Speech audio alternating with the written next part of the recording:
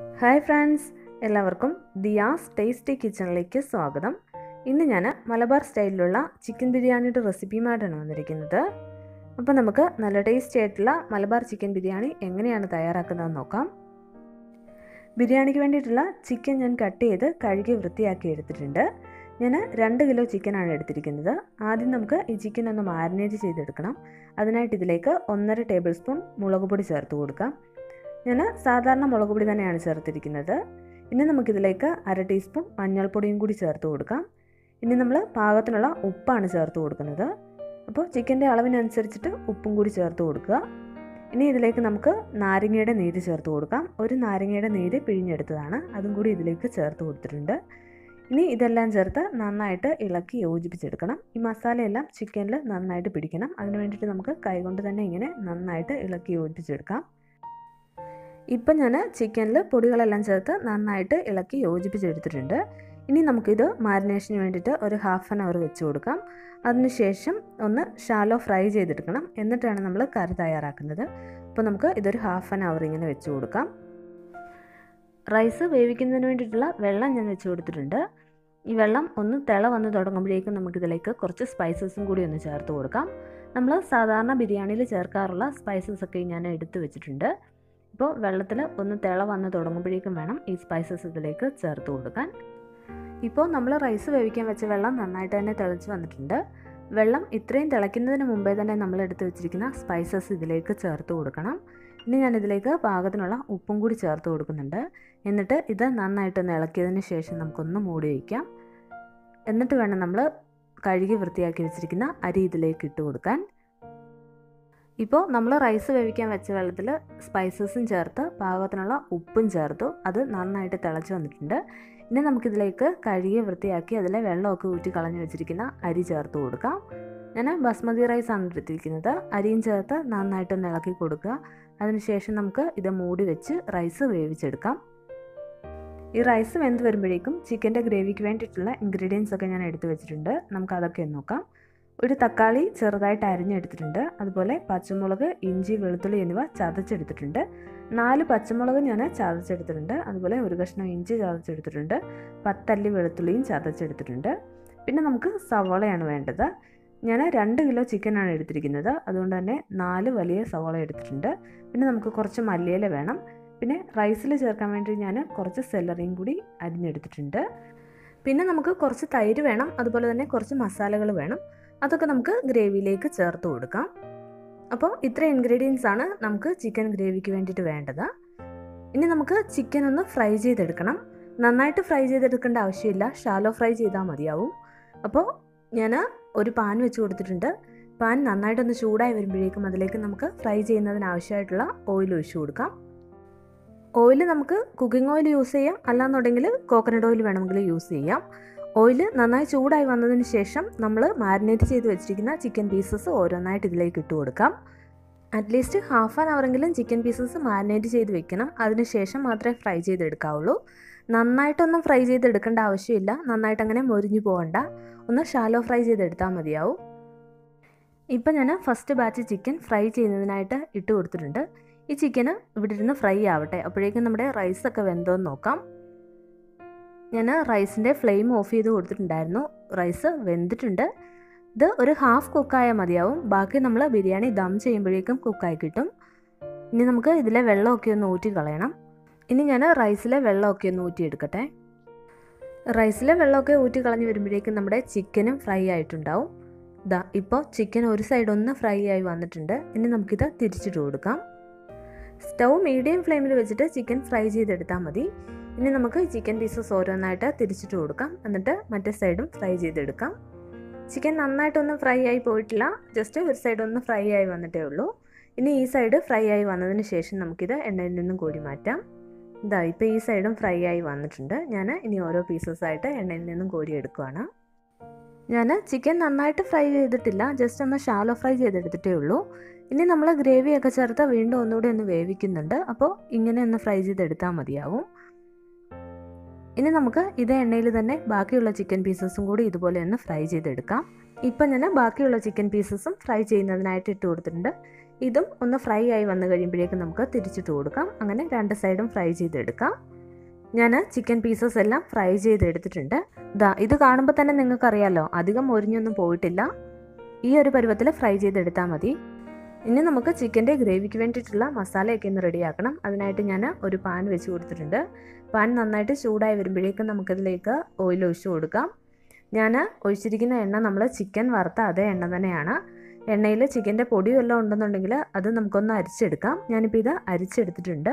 ഇനി എണ്ണ നന്നായിട്ടൊന്ന് ചൂടായി വരുമ്പോഴേക്കും നമുക്കിതിലേക്ക് നീളത്തിൽ അരിഞ്ഞു വെച്ചിരിക്കുന്ന സവാള ഇട്ട് കൊടുക്കാം. ഇനി നമുക്ക് ഈ സവാള നന്നായിട്ടൊന്ന് വഴറ്റിയെടുക്കണം. അപ്പോൾ സവാള പെട്ടെന്ന് വഴന്ന് കിട്ടുന്നതിനായിട്ട് നമുക്കിതിലേക്ക് കുറച്ച് ഉപ്പും കൂടി ഒന്ന് ചേർത്ത് കൊടുക്കാം.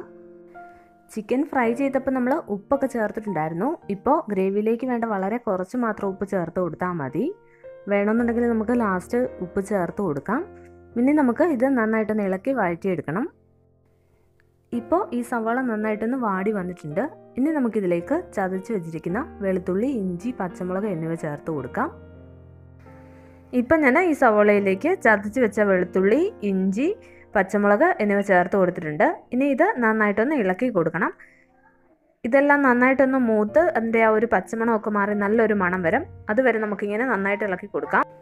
ഇതാ ഇപ്പോൾ സവാള ഇഞ്ചി വെളുത്തുള്ളി പച്ചമുളക് എല്ലാം നന്നായിട്ട് മൂത്ത് വന്നിട്ടുണ്ട്. ഇനി നമുക്കിതിലേക്ക് കുറച്ച് പൊടികളും കൂടി ഒന്ന് ചേർത്ത് കൊടുക്കാം. ഇനി ഞാനിതിലേക്ക് ഒന്നര ടീസ്പൂൺ കാശ്മീരി ചില്ലി പൗഡർ ചേർത്ത് കൊടുക്കുന്നുണ്ട്. നമ്മൾ സാധാരണ ചില്ലി പൗഡർ ചേർത്താണ് ചിക്കൻ ഫ്രൈ ചെയ്തിരിക്കുന്നത്. ഇനി നമുക്കിതിലേക്ക് രണ്ട് ടീസ്പൂൺ മല്ലിപ്പൊടി ചേർത്ത് കൊടുക്കാം. അതുപോലെ തന്നെ ഒരല്പം മഞ്ഞൾപ്പൊടിയും ചേർത്ത് കൊടുക്കാം. ഇനി ഈ പൊടികളൊക്കെ ഒന്ന് മൂത്ത് അതിന്റെ ആ പച്ചമണമൊക്കെ ഒന്ന് മാറി കിട്ടുന്നത് വരെ നന്നായിട്ട് ഇങ്ങനെ ഇളക്കി കൊടുത്തുകൊണ്ടേയിരിക്കണം പൊടികൾ ചേർത്ത് കഴിഞ്ഞിട്ട് സ്റ്റൗ ഏറ്റവും ലോ ഫ്ലെയിമിൽ തന്നെ വെച്ച് കൊടുക്കുക. ഇപ്പോൾ വഴറ്റിയ സവോളയിലേക്ക് പൊടികളൊക്കെ ചേർത്ത് അത് നന്നായിട്ട് മൂത്ത് വന്നിട്ടുണ്ട്. ഇനി നമുക്കിതിലേക്ക് ചെറുതായിട്ട് അരിഞ്ഞു വെച്ചിരിക്കുന്ന തക്കാളി ചേർത്ത് കൊടുക്കാം. ഞാൻ ഒരു വലിയ തക്കാളി ചെറുതായിട്ട് അരിഞ്ഞെടുത്തിരിക്കുന്നതാണ്. ചെറിയ തക്കാളി ആണെങ്കിൽ രണ്ടെണ്ണം ചേർത്ത് കൊടുക്കണം. ഇനി ഇതിലേക്ക് നമുക്ക് ഒരു തണ്ട് കറിവേപ്പിലയും കൂടി ചേർത്ത് കൊടുക്കാം. ഇനി ഇതെല്ലാം ചേർത്ത് നന്നായിട്ടൊന്ന് ഇളക്കി കൊടുക്കാം. എന്നിട്ട് ഇതിലേക്ക് നമുക്ക് ഒരു കപ്പ് വെള്ളവും കൂടി ചേർത്ത് കൊടുക്കണം. വെള്ളവും ചേർത്തൊന്ന് ഇളക്കി കൊടുത്തതിന് ശേഷം നമുക്കിത് മൂടി വെക്കാം. വെള്ളം നന്നായിട്ട് തിളച്ച് വന്ന് കഴിയുമ്പോഴേക്കും നമ്മൾ വറുത്ത് വെച്ചിരിക്കുന്ന ചിക്കൻ പീസസ് ഇതിലേക്ക് ഇട്ട് കൊടുക്കാം. ഇപ്പം ഞാൻ ഇതിലേക്ക് ഒരു കപ്പ് വെള്ളവും ചേർത്ത് കൊടുത്തിട്ടുണ്ട്. ഇനി ഇത് നമുക്ക് മൂടി വയ്ക്കാം ഈ ഗ്രേവി നന്നായിട്ടൊന്ന് തിളച്ച് വരട്ടെ. അതിനുശേഷം നമുക്കിതിലേക്ക് ചിക്കൻ പീസസ് ഇട്ട് കൊടുക്കാം. ഇപ്പോൾ ഈ ഗ്രേവി നന്നായിട്ട് തിളച്ച് വന്നിട്ടുണ്ട്. ഇനി നമുക്കിതൊന്ന് തുറന്നിട്ട് നന്നായിട്ടൊന്ന് ഇളക്കി കൊടുക്കാം. അതിനുശേഷം നമുക്കിതിലേക്ക് നമ്മൾ ഫ്രൈ ചെയ്ത് വെച്ചിരിക്കുന്ന ചിക്കൻ പീസസ് ഓരോന്നായിട്ട് ഇട്ട് കൊടുക്കാം. ഇനി നമ്മൾ ഫ്രൈ ചെയ്ത് വെച്ചിരിക്കുന്ന ചിക്കൻ പീസസ് ഇതിലേക്ക് ഇട്ട് കൊടുക്കാം. എല്ലാ ചിക്കൻ പീസസും ഇതിലേക്ക് ഇട്ട് കൊടുക്കുക. ഈ ഗ്രേവിയിൽ കിടന്നിട്ട് ചിക്കൻ എല്ലാം നന്നായിട്ട് വേവണം. ചിക്കനിൽ ഈ മസാലയൊക്കെ പിടിക്കണം. അപ്പോൾ നമുക്ക് എല്ലാ ചിക്കനും ഇതിലേക്ക് ഇട്ട് കൊടുക്കാം. അതിനുശേഷം ഇത് നന്നായിട്ടൊന്ന് ഇളക്കി കൊടുക്കണം. ഈ ചിക്കനും മസാലയും എല്ലാം നന്നായിട്ടൊന്ന് ഇളക്കി യോജിപ്പിച്ചതിന് ശേഷം നമുക്കിത് മൂടി വയ്ക്കാം സ്റ്റൗ ഒരു മീഡിയം ഫ്ലെയിമിൽ വെച്ച് ഇത് മൂടി വെച്ച് നമുക്ക് വേവിച്ചെടുക്കാം. ഇപ്പോൾ ഞാൻ ഈ മസാലയും ചിക്കനും എല്ലാം നന്നായിട്ട് ഇളക്കി യോജിപ്പിച്ചെടുത്തിട്ടുണ്ട്. ഇനി നമുക്കിത് മൂടി വയ്ക്കാം അപ്പോഴേക്കും ഇതിലെ വെള്ളമൊക്കെ ഒന്ന് വറ്റി കിട്ടും അപ്പോൾ ഞാനിത് മൂടി വെച്ച് വേവിച്ചെടുക്കുകയാണ്. ഈ ചിക്കൻ വെന്ത് വരുന്ന സമയത്ത് നമുക്ക് റൈസിന് വേണ്ടിയിട്ടുള്ള ഫ്രൈയിങ്സ് ഒക്കെ ഒന്ന് റെഡിയാക്കാം അതിനായിട്ട് ഞാൻ ഒരു പാൻ വെച്ച് കൊടുത്തിട്ടുണ്ട്. പാൻ നന്നായിട്ട് ചൂടായി വരുമ്പോഴേക്കും ഇതിലേക്ക് ഒരു ടേബിൾ സ്പൂൺ നെയ്യ് ഒഴിച്ചു കൊടുക്കാം. ഇനി ഈ നെയ്യ് നന്നായിട്ട് മെൽറ്റായി വന്ന് കഴിയുമ്പോഴേക്കും നമ്മളെടുത്ത് വെച്ചിരിക്കുന്ന കിസ്മിസ് ഇതിലേക്ക് ഇട്ടൊന്ന് ഫ്രൈ ചെയ്തെടുക്കാം. ഞാനിപ്പോൾ ഒരു പിടി കിസ്മിസ് എടുത്തിട്ടുണ്ട്. കിസ്മിസും കാഷ്യൂനട്ടും ഒക്കെ നിങ്ങളുടെ ഇഷ്ടത്തിനനുസരിച്ചിട്ട് ചേർത്ത് കൊടുക്കുക. കൂടുതൽ വേണമെങ്കിൽ കൂടുതൽ ചേർക്കുക. അതല്ല ഇത്രയും വേണ്ടാന്നുണ്ടെങ്കിൽ ഇതിൽ കുറച്ച് ചേർത്ത് കൊടുത്താൽ മതി. ഇപ്പോൾ കിസ്മിസ് റെഡി ആയിട്ടുണ്ട്. ഇത് മാറ്റിയതിന് ശേഷം നമുക്കിതിലേക്ക് കാഷ്യൂനട്ട് ഇട്ട് കൊടുക്കാം. എന്നിട്ട് ഇതും കൂടി ഒന്ന് ഫ്രൈ ചെയ്തെടുക്കാം. ഇതിന്റെ കളർ ഒന്ന് മാറി വരുന്നത് വരെ നന്നായിട്ട് ഇങ്ങനെ ഇളക്കി കൊടുക്കുക. ഇപ്പോൾ ഈ കാഷ്യൂനട്ടും റെഡി ആയിട്ടുണ്ട്. ഇതിന്റെ കളറൊക്കെ മാറി വന്നിട്ടുണ്ട്. ഇനി നമുക്ക് ഇത് ഈ പാനിൽ നിന്ന് മാറ്റാം. ഇനി നമുക്ക് അതേ പാനിൽ തന്നെ ക്യാരറ്റ് ചെറുതായിട്ട് അരിഞ്ഞതും കൂടി ചേർത്ത് കൊടുക്കാം. ഞാൻ കുറച്ച് ക്യാരറ്റും കൂടി ഇതിൽ ചേർത്ത് കൊടുക്കുന്നുണ്ട്. അപ്പോൾ ഇതും കൂടി ഒന്ന് ഫ്രൈ ചെയ്തെടുക്കാം. ക്യാരറ്റ് ഒന്ന് വഴന്ന് വരുമ്പോഴേക്കും നമുക്കിതിലേക്ക് കുറച്ച് സെലറിയും കൂടി ചേർത്ത് കൊടുക്കാം. ഇനി ഇത് രണ്ടും ചേർത്ത് നന്നായിട്ടൊന്ന് വഴറ്റിയെടുക്കാം. അതിനുശേഷം ഇതും ഈ പാത്രത്തിൽ നിന്നും കോരി മാറ്റാം. ഇപ്പോൾ ഈ ക്യാരറ്റൊക്കെ നന്നായിട്ട് വഴന്ന് വന്നിട്ടുണ്ട്. ഇനി നമുക്കിത് പാത്രത്തിൽ നിന്ന് മാറ്റാം. ഇപ്പം ഞാൻ ക്യാഷ്നട്ടും കിസ്മിസും ക്യാരറ്റും സെലറി എല്ലാം റെഡിയാക്കി എടുത്തിട്ടുണ്ട്. ഇനി നമുക്ക് അതേ പാനിൽ തന്നെ കുറച്ചും കൂടി ഓയിൽ ഒഴിച്ചു കൊടുക്കാം. ഓയിൽ നന്നായിട്ട് ചൂടായി വരുമ്പോഴേക്കും നമുക്കിതിലേക്ക് നീളത്തിൽ അരിഞ്ഞു വെച്ചിരിക്കുന്ന സവാള ഇട്ട് കൊടുക്കാം. ഞാനിപ്പോൾ രണ്ട് മീഡിയം സൈസിലുള്ള സവാള കനം കുറച്ച് അരിഞ്ഞിരിക്കുന്നതാണ്. ഇനി ഇത് നന്നായിട്ട് ഇളക്കി സവാള ഒന്ന് ഫ്രൈ ചെയ്തെടുക്കണം. ഇനി ഈ സവോളയിലേക്ക് ഒരല്പം ഉപ്പും കൂടി ചേർത്ത് കൊടുക്കാം. എന്നിട്ട് നന്നായിട്ട് ഇളക്കി കൊടുത്ത് ഇത് ഫ്രൈ ചെയ്തെടുക്കാം. ഇപ്പം ഞാൻ റൈസിന് വേണ്ടിയിട്ടുള്ള സവോളയും ഫ്രൈ ചെയ്തെടുത്തിട്ടുണ്ട്. ഇനി നമുക്ക് ഇതും മറ്റൊരു പാത്രത്തിലേക്ക് മാറ്റാം. നമ്മൾ ചിക്കൻ വേവാൻ വെച്ചിട്ടായിരുന്നു ഫ്രൈയിങ്സ് ഒക്കെ റെഡിയാക്കിയത്. ഇപ്പോൾ ചിക്കൻ ഗ്രേവിയൊക്കെ കുറുകി റെഡി ആയിട്ടുണ്ടാവും. നമുക്ക് ഇനി അതും കൂടി ഒന്ന് നോക്കാം. ഇപ്പോൾ ഇതിന്റെ ഗ്രേവിയൊക്കെ ഒന്ന് കുറുകി വന്നിട്ടുണ്ട്. ഇനി നമുക്കിതിലേക്ക് അര ടീസ്പൂൺ ഗരം മസാല അര ടീസ്പൂൺ കുരുമുളക് പൊടി മൂന്ന് ടേബിൾ സ്പൂൺ തൈര് കുറച്ച് മല്ലിയില എന്നിവയും കൂടി ചേർത്ത് കൊടുക്കാം. എന്നിട്ട് നന്നായിട്ട് ഇളക്കി കൊടുക്കണം.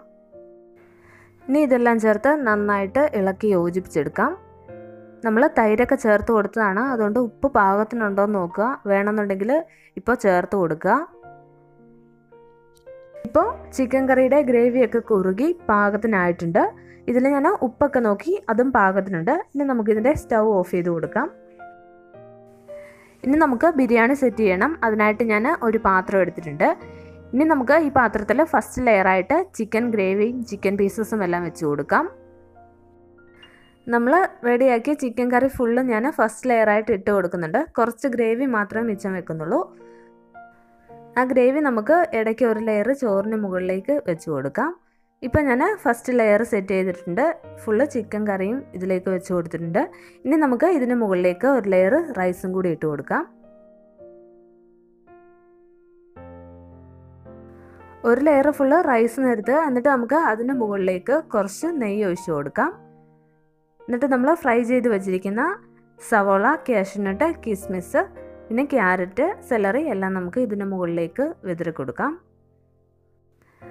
എല്ലാം കുറേശ്ശെയായിട്ട് ഇട്ട് കൊടുക്കുക. ഇനി നമുക്ക് ഒരു ലെയറിലും കൂടി ഇത് ഇട്ട് കൊടുക്കാനുണ്ട്. ഇപ്പം ഞാൻ ഇതിലേക്ക് ഫസ്റ്റ് ലെയർ ഫ്രൈങ്സ് എല്ലാം ഇട്ട് കൊടുത്തിട്ടുണ്ട്. ഇനി നമുക്ക് ഇതിന് മുകളിലേക്ക് ഒരു ലെയർ റൈസും കൂടി ഇട്ട് കൊടുക്കാം. ഇപ്പം ഞാൻ സെക്കൻഡ് ലെയർ റൈസും കൂടി ഇട്ട് കൊടുത്തിട്ടുണ്ട്. ഇനി ഇതിന് മുകളിലേക്ക് നമ്മൾ കുറച്ച് ഗ്രേവി മാത്രം മാറ്റി വെച്ചിട്ടുണ്ടായിരുന്നു. അതും കൂടി ഒന്ന് ഒഴിച്ചു കൊടുക്കാം. ഇനി ഈ ഗ്രേവിയുടെ മുകളിലായിട്ട് നമുക്ക് അടുത്ത ലെയർ റൈസും കൂടി ഒന്ന് നിരത്തി കൊടുക്കാം. ഇനി ഈ ലെയർ റൈസിന് മുകളിലേക്ക് നമുക്ക് കുറച്ച് നെയ്യ് ഒഴിച്ചു കൊടുക്കാം. എന്നിട്ട് അതിന് മുകളിലേക്ക് നമ്മൾ ബാക്കി വെച്ചിരിക്കുന്ന ഫ്രൈയിങ്സ് എല്ലാം ഇട്ട് കൊടുക്കാം. സവാള ഇട്ട് കൊടുത്തു. അതിന് മുകളിലേക്ക് നമ്മൾ ഫ്രൈ ചെയ്ത് വെച്ചിരുന്ന കാഷ്യൂനട്ടും കിസ്മിസും അതുപോലെ തന്നെ ക്യാരറ്റും സെലറിയും എല്ലാം ഇട്ട് കൊടുക്കാം. എന്നിട്ട് നമുക്ക് അതിന് മുകളിലേക്ക് കുറച്ച് മലയിലയും കൂടി ഒന്ന് വിതറി കൊടുക്കാം. ഇനി നമുക്കിത് മൂടി വെച്ച് ഒരു പതിനഞ്ച് മിനിറ്റ് ഏറ്റവും ലോ ഫ്ലെയിമിൽ വെച്ചിട്ട് ദം ചെയ്തെടുക്കാം.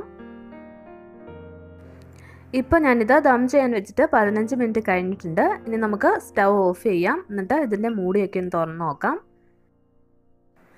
നമ്മുടെ നല്ല ടേസ്റ്റി ആയിട്ടുള്ള Malabar style chicken biryani ready ആയിട്ടുണ്ട്. ഇനി നമുക്ക് ഇത് നന്നായിട്ടൊന്ന് ഇളക്കി മിക്സ് ചെയ്തെടുക്കാം. ഇപ്പം ഞാനിത് മിക്സ് ചെയ്തെടുത്തിട്ടുണ്ട്. നമ്മുടെ നല്ല ടേസ്റ്റി ആയിട്ടുള്ള ചിക്കൻ ബിരിയാണി റെഡി ആയിട്ടുണ്ട്. എല്ലാവരും ഇതൊന്ന് ട്രൈ ചെയ്ത് നോക്കുക. റെസിപ്പി ഇഷ്ടമായെങ്കിൽ എന്റെ ചാനൽ സബ്സ്ക്രൈബ് ചെയ്യാനും വീഡിയോസൊക്കെ ഷെയർ ചെയ്യാനും മറക്കരുത്. ചാനൽ സബ്സ്ക്രൈബ് ചെയ്തിട്ട് അതോടൊപ്പം കാണുന്ന ബെല്ലൈക്കൺ പ്രസ് ചെയ്ത് നോട്ടിഫിക്കേഷൻ കൂടി എനേബിൾ ചെയ്യുക. അപ്പോൾ ഞാനിടുന്ന വീഡിയോസിന്റെ എല്ലാ നോട്ടിഫിക്കേഷൻ നിങ്ങൾക്ക് കിട്ടുന്നതാണ്. താങ്ക്